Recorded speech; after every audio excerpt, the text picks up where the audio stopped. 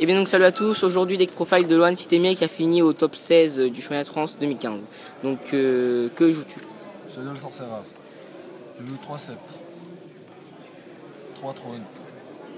C'est un très bon combo euh, pour faire tour 0 ou tour 1, cette loupe, qui finit avec 3 monstres, et tu pioches 2, et ça finit avec Declaros, Diamant ou euh, Ouroboros. Et qui fait du moins 1 à l'adversaire. Je joue 10 Shadow. Je joue 2 Beasts pour faire piocher une carte. Et quand il est flippé, il flippe- je pioche 2 je défausse une. Dragon qui flippe un mon et je remonte une carte sur le terrain et il fait typhon. Squamata qui, euh, qui met une milieu de carte, Shadow, et il être une carte sur le terrain en monstre.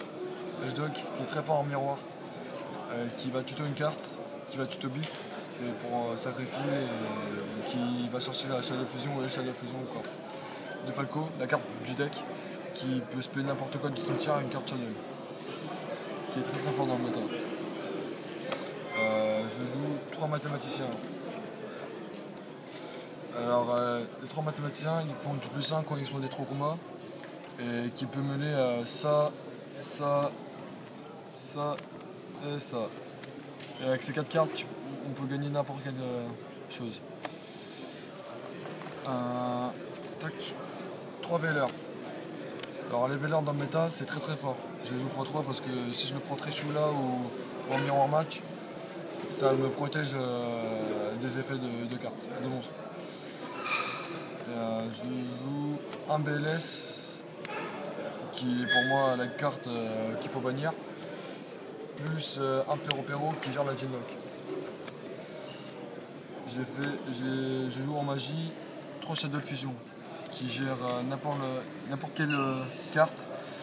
Ça fait une carte de stratège gratuit quand on contrôle une carte de stratège. Deux Shadow pour gérer, euh, pour gérer Valkyrus. Et on peut faire pendant son tour, on peut faire contre Necros, on peut jouer euh, Anomantilis. Un man contrôle, en miroir c'est la carte qu'il faut, qu'il faut jouer.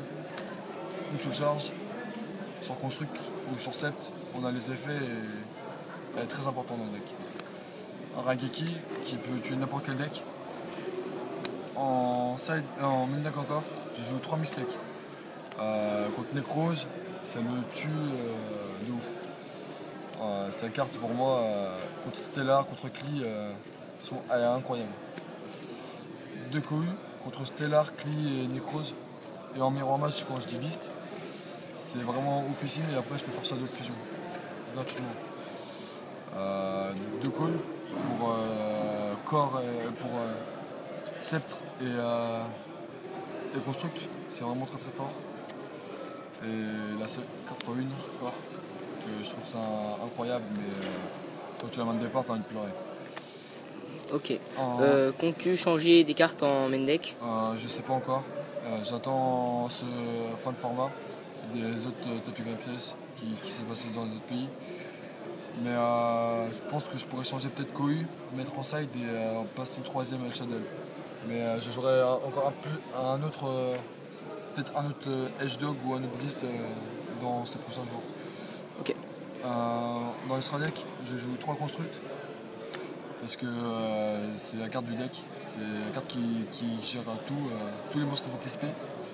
Et quand elle est envoyée cimetière, bah, je peux chercher une seule fusion ou encore. euh, c'est très très fort. Euh, je joue deux Winda contre Stellar et euh, Burning. C'est la carte euh, qui dit et participer. C'est vraiment très très fort. Deux Shikinaga. anti-Necrose et anti-Shadow aussi. C'est vraiment très très fort. Et anti-Stellar, parce que sur Daniel par exemple, quand elle invoque SP par Altair. Anabatis que j'ai jamais sorti du tournoi. J'ai joué contre 4 Necrose mais jamais sorti. Euh, J'aime bien mais quand j'ai Core et Sh- et Shadow Fusion c'est vraiment fort.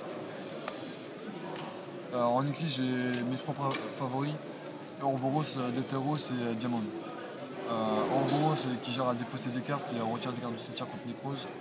C'est vraiment très très fort. Delteros en miroir match contre Shadow et Diamond euh, surposé sur euh, Delteros. C'est vraiment très très fort ces trois cartes. En synchro, je joue euh, Arcanite.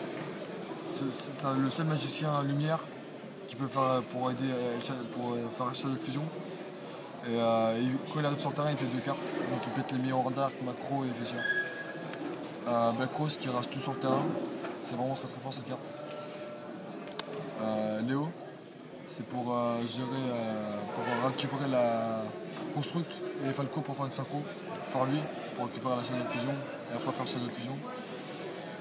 Et moi genre d'étoile, c'est pour euh, tout ce qui est euh, killer, euh, tour de un peu killer cli là, je sais pas quoi. Il a 3000 de- d'attaque, mais il n'y a que lui qui peut le gérer en miroir contre Shadow. Mais je vais pour remplacer des cartes du, de l'Estra deck pour l'instant, mais je sais pas, je suis pas sûr encore. Donc en, en side j'ai deux lancers. J'en ai marre de- d'en jouer trois. Euh, donc je l'ai passé x2.